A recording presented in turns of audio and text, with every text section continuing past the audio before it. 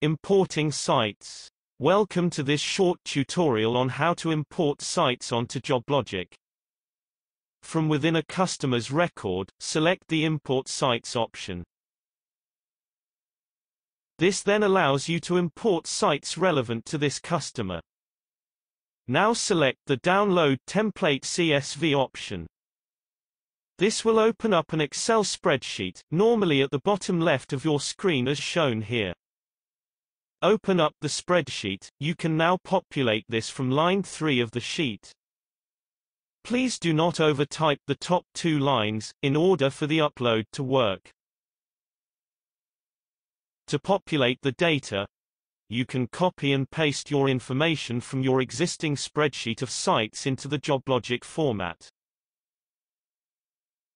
Once you have populated the data, you will need to save the JobLogic Excel sheet.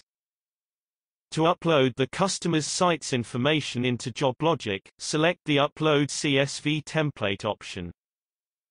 You will then be prompted to select the file that has just been saved. Once selected the file will then be sent for uploading into JobLogic.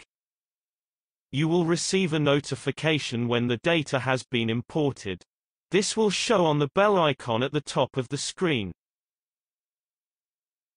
Thank you for watching this short tutorial.